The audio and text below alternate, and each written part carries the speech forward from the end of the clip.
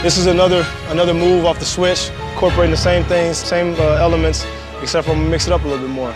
So I get the switch on me, I got the big men on me. Everything's hard, everything's under control, low and hard. I'm exploding off this way, I'm bringing it back this way, exploding. Hard dribble back, I wanna sell it with that back, get as far back as possible.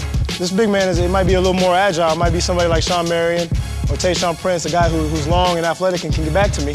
So I want to sell it because I know they're shot blockers. I know they're going to try to come after the ball. So I want to sell it with a hezo, bring him up, and when I see he's in the air, I'm going by him. I'm finishing with a floater, possibly a dunk, or just taking it all the way to the basket for a layup.